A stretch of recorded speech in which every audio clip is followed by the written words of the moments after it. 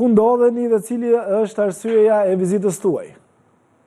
Ne jemi në kullën e Boletinit, në kullën e Isë Boletinit mbi lumin Ibër në Kosovë, ku po zhvillojmë konferencën e gjashtë mbarëkombëtare të arkivistikës, e cila tashmë fatmirësisht është kthyer në një traditë mes Drejtorisë së Përgjithshme të Arkivave të Shqipërisë dhe Agjencisë Shtetërore të Arkivave të Kosovës, Pas Tiranës, Prishtinës, Shkupit, Sarandës, Tuzit, tashmë kemi zgjedhur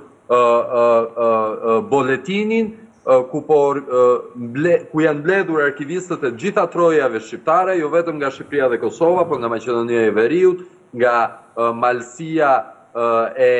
që ndodhet në Mal të Zi dhe nga Ulqini e Presheva për të shkëmbyer të rejat më të fundit në fushën e arkivistikës, risitë në këtë fushë dhe për të çuar më përpara bashkëpunimin mes dy institucioneve tona.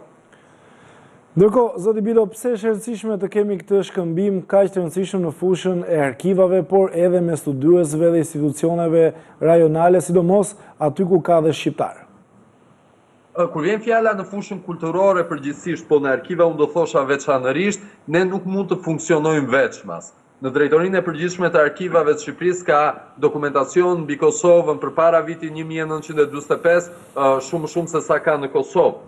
Nga ana tjetër, zhvillimet politike, historike, kulturore, zhvillimet e jetës së përditshme në Shqipëri të çdo momenti, që nga themelimi i shtetit shqiptar e deri më sot, janë të ndikuara drejtpërdrejt nga zhvillimet të cilat janë në trojet e tjera shqiptare. Kështu që dokumentacioni që ruan Arkivi i Shqipërisë me dokumentacionin që ruan Arkivi i Kosovës janë komplementarë, janë dokumentacioni i cili përbën dokumentacionin e përgjithshëm të kombit shqiptar. Studiuesi i Shqipërisë dhe studiuesi i Kosovës, e ka të pamundur të studiojë historinë tonë për të krijuar edhe politika zhvillimore të së ardhmes, pa aksesuar të dy arkivat njëkohësisht. Për këtë arsye ne në mënyrë të vijueshme tentojmë që të unifikojmë praktikat tona arkivore, tentojmë që të zhvillojmë aktivitete të përbashkëta, ekspozita të përbashkëta, konferenca shkencore të përbashkëta, kemi botime të përbashkëta në mënyrë të vijueshme, në mënyrë që studiuesit ta kenë më të thjeshtë qasjen në dokumentet historike të të dy arkivave tona për të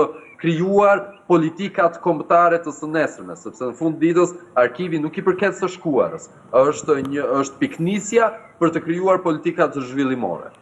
Ndërkohë dua ta kaloj pak edhe te zoti Zyberaj, çfarë mund të themi në lidhje me bashkëpunimin që ka mes vendeve tona dhe pse ka rëndësi që ju të mblidheni herë pas here dhe të diskutoni për risitë, por edhe për të shkëmbyer atë informacion të nevojshëm që duhet edhe studiuesve, por edhe për të arkivuar ato informacione të rëndësishme për kulturën mbarëshqiptare? Po tani, siç e tha edhe drejtor Bido, Dy institucionet tona, pavarësisht që ju përkasin dy shtete, jemi dy pjesë të një tërësie, nëse kësaj problematike dhe kësaj lemie i qasemi nga këndvështrimi kombëtar, për arsye se jemi dy pjesë të një tërësie, pra përbashkët, kështu që bashkëpunimi Mes dy institucioneve është domosdoshmëri shumë e madhe, për të mos thënë se është bashkëpunimi ma i domosdoshëm se me çdo institucion tjetër, pavarësisht se ne si dy institucione nuk konsiderojmë se i mjaftojmë vetvete, sepse historia e kombit tonë në përgjithësi nuk mund të trajtohet e izoluar. Ne kemi qenë kontakte edhe me të tjerë, kështu që edhe e kaluara jonë mund të ndriçohet më mirë. duke iu referu jo vetëm dy arkivave tona, por dhe përtej tyre. Në anën tjetër, siç e thatë edhe në fillim, siç e tha drejtor Bido, këtu gjendemi në Boletin, ku sot po mbajmë konferencën e gjashtë mbarëkombëtare të arkivistikës, me ç'rast organizatorë jemi dy institucionet tona, por këtu kemi edhe një element të ri në këtë konferencë, meqë jemi në Boletin, në vendlindjen e Isa Boletinit, Kemi hap sot për shembull ekspozitën Isa Boletini në dokumentet dhe shtypin gjermanofon, ku kemi ekspozue disa dokumente dhe disa artikuj të shtypit gjerman të periudhës prej vitit një mijë e nëntëqind e pesë deri në vitin një mijë e nëntëqind e gjashtëmbëdhjetë, që është një rast i mirë që dokumente dhe artikuj Të asaj kohe t'ia ofrojmë qytetarit sa më afër, sepse këto ekspozitat i shfrytëzojmë pra për ta ofru arkivin, përkatësisht pasurinë që ka arkivi për t'ia ofru qytetarit dhe falë kësaj politike që kemi tani më të konsoliduar, neve na asht dhan rasti pothuajse këtu të jemi në pikën ma të skajshme veriore, nga këtu, Kemi edhe tridhjetë kilometra, pra është vija ma e skajshme e kufirit të Kosovës. Kështu që është një moment i mirë, në të njëjtën kohë dhe shënojmë pra përkujtojmë edhe tribunin e kryengritjeve të pragshpalljes së pavarësisë. Së Shqipërisë me minus që në të dëmbjetën. Mirë kam një pyetje përsëri për të dy, çfarë pritet për të ardhmen nga ky bashkëpunim, por gjithashtu dhe me zgjerimin e pikave të tjera, sidomos ju zoti Bidon keni thënë edhe në studio që do zgjeroheni edhe më tej dhe do të jetë akoma më e lehtë, por edhe më e pasuruar arkivi shqiptar. Çfarë mund të themi në lidhje me të ardhmen? Në lidhje me të ardhmen, ne vitin e kaluar, në nëntor të vitit të kaluar, kemi nënshkruar marrëveshjen, marrëveshje bashkëpunimi kemi pas të formalizuar në aspektin juridik edhe më herët, domethënë, por kemi shtu një element plotësues duke iu falënderuar këtij bashkëpunimi të afërt në të në të ardhmen e afërt ne planifikojmë që ta bëjmë edhe unifikimin e shërbimit dhe në një platformë të përbashkët Pra, do të kenë të interesuarit nga larg, sidomos në distancë, të marrin shërbimin nga një platformë e përbashkët online, ku do të marrin shërbimin pa pas informacion në shërbimin e marrin nga Tirana, nga Prishtina, Prizreni apo nga Elbasani. Arbri, dua të theksoj diçka këtu. Ne kemi hapur këndet tona arkivore, ku do të bashkangjitet edhe Arkivi i Kosovës shumë shpejt, në disa qytete dhe dua të them që Kosova na vendos pak në vështirësi. në kuptimin që shohim një mori studiuesish, të cilët deri më dje kishin të pamundur që të vinin deri në Tiranë. Të vish nga Prishtina deri në Tiranë, pavarësisht se sot rrugët janë dy-tre orë, do të thotë që do të humbasësh ditë të tëra për të qëmtuar në Arkivin Qendror Shtetëror. Tashmë që kemi hapur sallat tona të studimit jo vetëm në Prishtinë, por në Prizren, po edhe në qytete si Istogu, Vushtrria, Malisheva, Suhareka, Rahoveci e kështu me radhë, po shohim një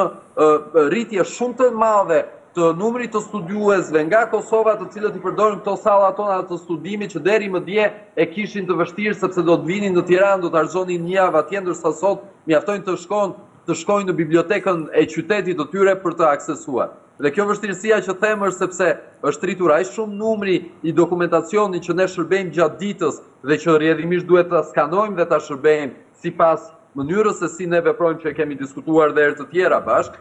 sa që jemi në ato limitet e e e shërbimit po që do tejkalohet si problematikë shumë shpejt dhe jemi në pritje që dhe Arkivi i Kosovës të jetë pjesë e nismës tonë, për të pasur salla studimi të përbashkëta në të gjithë Shqipërinë dhe për të mundësuar që studiuesi pavarësisht nëse ndodhet në Sarandë, në Tuzë, në Kumanovë apo këtu në Boletin që është një ndër fshatrat më veriore shqiptare në Kosovë, të mundet të aksesojë arkivat tona dhe të zhvillojë studimet e veta historike, po edhe ato të politikave të zhvillimore që i nevojiten shteteve tona për një të ardhme më të mirë pa nevojën e një strapacimi dhe të një kostoje shumë të lartë mes tyre. Ndërkohë kam edhe një pyetje të fundit para se t'ju lë me angazhimin tuaj në këtë konferencë të rëndësishme që ju po e zhvilloni në Boletin në Kosovë. Për sa i përket tematikave kryesore, pra edhe një lloj kurioziteti për gjithë teleshikuesit, cilat janë dokumentet që kërkohen më shumë në arkiva? Për të dy. Sa i përket dokumenteve që kërkohen, këto në faza të caktuara, për shembull në Agjencinë Shtetërore të Arkivave të Kosovës, ka faza të caktuara që ndërlidhen me çështje që bëjnë me shtresa të caktuara. Për shembull, pas miratimit të ligjit para një dekade, pas shpalljes së pavarësisë së Kosovës për t'i kompenzue ish-të burgosurit politikë të periudhës së komunizmit, domethënë dokumentet e gjykatave, ku janë dënue të burgosurit e asaj kohe, kanë qenë më të kërkuarat sepse atyre u kërkoi, u duhej dëshmia për ta dëshmue kohën e qëndrimit të tyre në burg, domethënë, varësisht në faza. Pastaj, më të përhershme kemi problematika të ndryshme që i kanë të bëjnë me kontekstet pronësore juridike, këto pra janë më të kërkuarat në përgjithësi në Agjencinë Shtetërore të Arkivave të Kosovës. Në Shqipëri përveç problemit pronësor që është një gangrenë e vjetër e shtetit shqiptar dhe që e dimë shumë mirë, apo ato biografike si amza shkollore dhe dokumentacion pensionesh,